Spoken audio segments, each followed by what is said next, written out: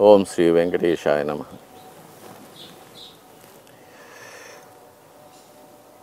శ్రీ మహావిష్ణువు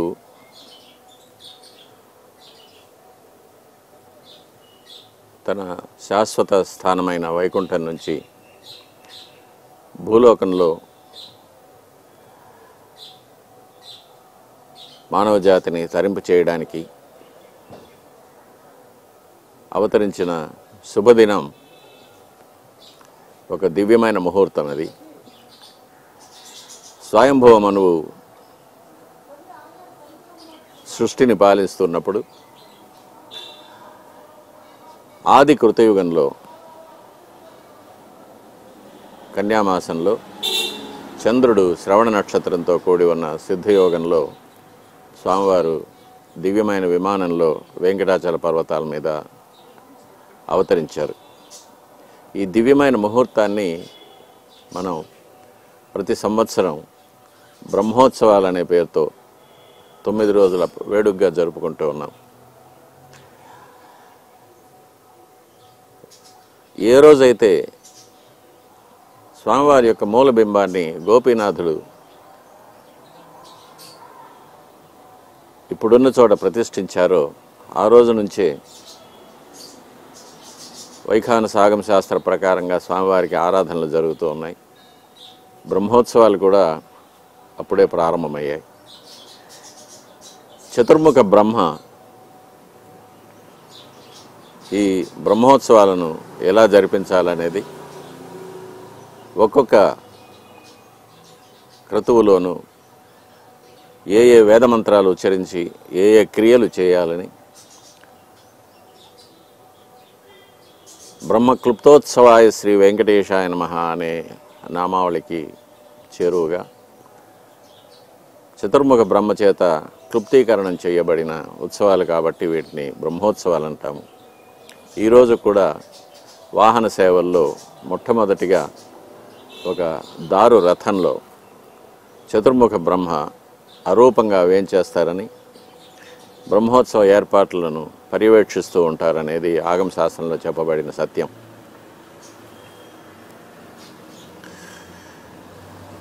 ఈ దివ్యమైన ముహూర్తం శ్రవణ నక్షత్రం కన్యామాసంలో. ఆ రోజు అవభృత స్నానంతో బ్రహ్మోత్సవాలు ముగుస్తాయి. ఆ రోజు నిర్ణయించిన తర్వాత తొమ్మిది రోజులు వెనక్కు వెళ్ళి అంకురారోపణతో బ్రహ్మోత్సవాలు ప్రారంభమవుతాయి. యాగశాలలో అంకురార్పణ జరిగి అంతకుముందు మృత్సంగ్రహణం అనే క్రియతో పుట్టమన్ను తీసుకువచ్చి అందులో నవధాన్యాలను మొలకెత్తించి మరుసటి రోజు గరుడ ధ్వజ పటాన్ని తయారు చేసి ఆవాహనాది ఉపచారాలు సమర్పించిన తర్వాత ధ్వజారోహణంతో ఈ బ్రహ్మోత్సవాలు ప్రారంభమవుతాయి. స్వామివారి దేవాలయంలో ఉన్న ధ్వజస్తంభం మీదికి గరుత్మంతుడు ధ్వజపటం రూపంలో ఆరోహణ చేస్తారు. ఈ పది రోజులు ఆయన ధ్వజస్తంభం మీద ఉండి అన్ని లోకాల నుంచి బ్రహ్మాది దేవతలు అష్టదిక్పాలకులు నవగ్రహ దేవతలు దేవతాగణాలు మునిగణాలు ఋషిగణాలు యతిగణాలు సర్వ మానవుల్ని బ్రహ్మోత్సవ వేడుకలను దర్శించడానికి ఆహ్వానిస్తూ ఉంటారు. తరువాత స్వామివారు ప్రతిరోజు ఉదయం సాయంకాలం వివిధ రకాలైన వాహనాల మీద వేయించేస్తారు ఈ వాహనాలన్నీ కూడా విమానార్చన కల్ప కల్పనలో మరీచి మహర్షి చెప్పిన శిల్పశాస్త్రం ప్రకారం అదే కొలతలతో అదే లక్షణాలతో తయారు చేయబడింది. ఈ వాహనం యొక్క విశేషాలు సృష్టిలోని ప్రతి జాతిలో ఉత్తమమైన వాటివన్నీ వాహనాలుగా పరిగణించబడతాయి. భగవద్గీతలో కృష్ణ పరమాత్మ చెప్పినట్టు మృగాణాంచ మృగేంద్రోహం వైనతేయంచ పక్షిణ అని మృగాల్లో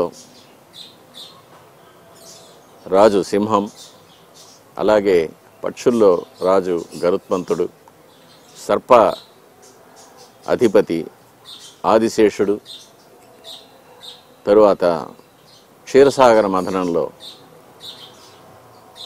ఆవిర్భవించిన దివ్యమైన రెక్కలు కలిగిన అశ్వం ఉచ్చైశ్రవం గుర్రపు వాహనంగాను నాలుగు దంతాలతో ఉన్న తెల్లటి దివ్య గజం ఐరావతం గజవాహనంగాను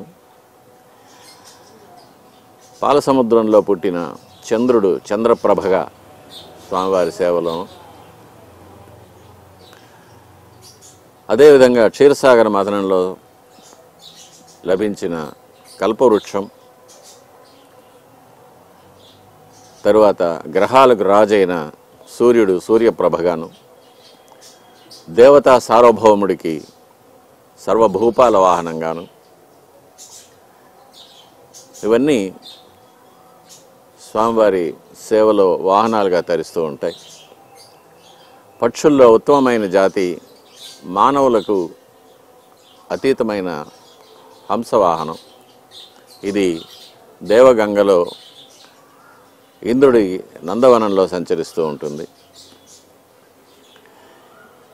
ఇవన్నీ కూడా స్వామివారి యొక్క సేవలో వాహనాలుగా తరిస్తూ ఉంటాయి.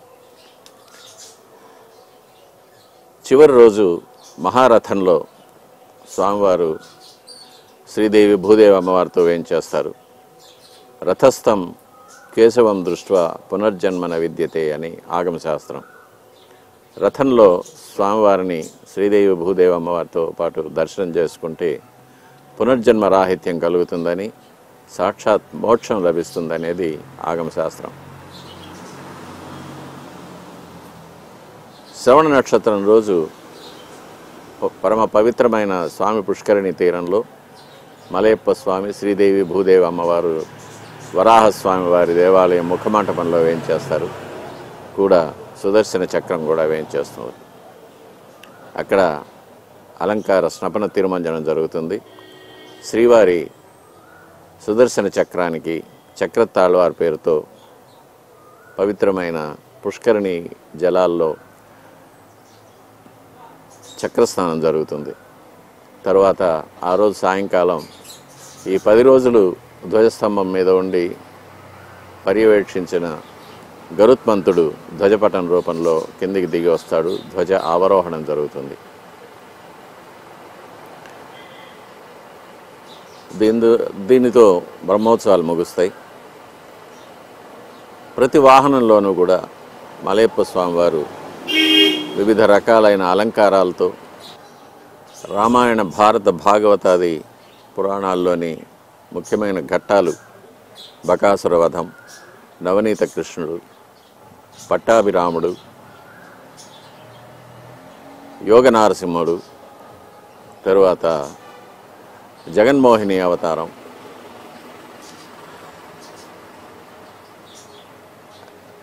కోదండరాముడు పరమపదనాథులు వైకుంఠనాథులు మొదలైన అనేక అవతారాలతో వివిధ రకాలైన నవరత్న ఆభరణాలతో పుష్పాలంకారాలతో కనుల పండుగగా స్వామివారు మాడవీధుల్లో ఉత్సవంగా వస్తూ ఉంటారు. ప్రతి ఉత్సవంలోనూ కూడా ముందు బ్రహ్మరథం వెళ్తూ ఉంటుంది. తర్వాత వైభవంగా అలంకరించబడిన పట్టపు టేనుగులు పట్టపు గుర్రాలు పట్టపు వృషభాలు వేంచేస్తాయి. వీటి తర్వాత వేదపారాయణం అధ్యాపకులు ఉంటారు. తర్వాత మంగళవాద్యాల ఘోష వినిపిస్తూ ఉంటుంది. తరువాత జానపద కళలు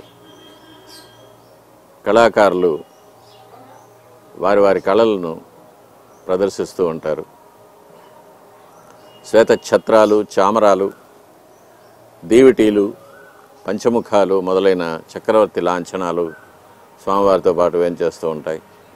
అర్చకులు సదా స్వామివారి సమీపంలో ఉండి స్వామివారిని సేవించుకుంటూ ఉంటారు.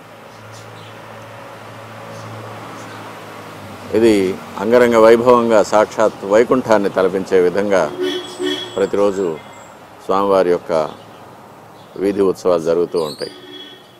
భక్తులు